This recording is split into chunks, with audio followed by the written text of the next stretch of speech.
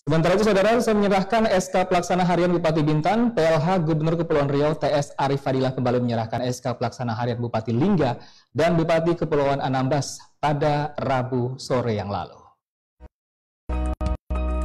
Penyerahan SK 2 pelaksana harian Bupati ini dilakukan setelah sebelumnya PLH Gubernur menyerahkan SK di Prihantara sebagai PLH Bupati Bintan.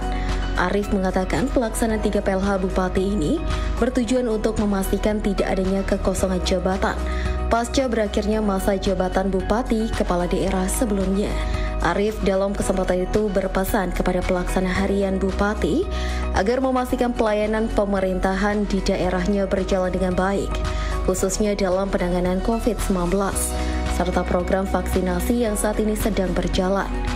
Selain itu, dirinya juga meminta agar PLH Bupati Lingga dan Anambas melakukan koordinasi dengan KPU dan DPRD untuk persiapan pelantikan Bupati terpilih hasil Pilkada 2020 yang telah ditetapkan. Masa jabatan, masa jabatan Bupati Anambas hari ini tanggal 17 maka sesuai dengan instruksi saudara Mendagri bahwa kami harus menyerahkan laksana harian supaya tidak terjadi kekosongan pemerintahan. Di pemerintahan itu tetap harus jalan, segala kegiatan pemerintahan harus jalan. Alhamdulillah tadi Pak Wakil Bupati juga sudah ketemu kami, dan dia sudah melapor bahwa dia sudah habis masa jabatan dan menunggu arahan berikutnya.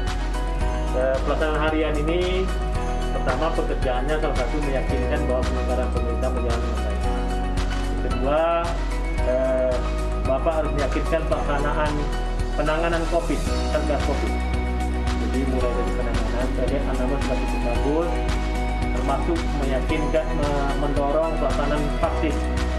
Karena pekerjaan vaksin ini merupakan target pemerintah. Kami ya ditarget dengan gerak cepat bahwa satu bulan dalam bulan Februari ini sudah harus clear tenaga kesehatan karena sebentar lagi kita akan datang lagi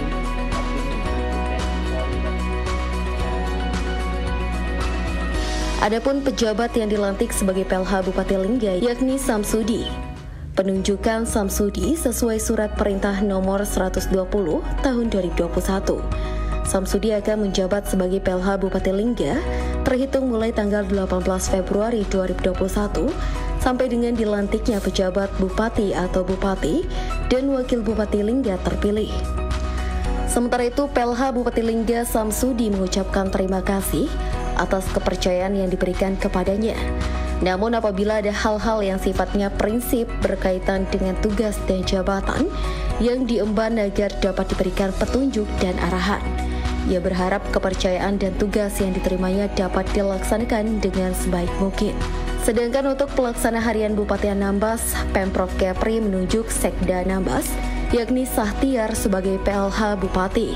Sahtiar bakal menjadi kepala daerah sementara di Anambas selama 9 hari.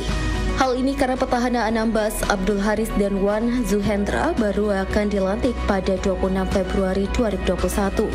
Jadwal pelantikan mereka diundur dari jadwal semula pada 18 Februari 2021. Sementara masa jabatan Abdul Haris dan Wan Zuhendra memimpin Anambas telah berakhir pada 17 Februari 2021 sejak 2015 lalu. Oktarian melaporkan dari Tanjung Pinang.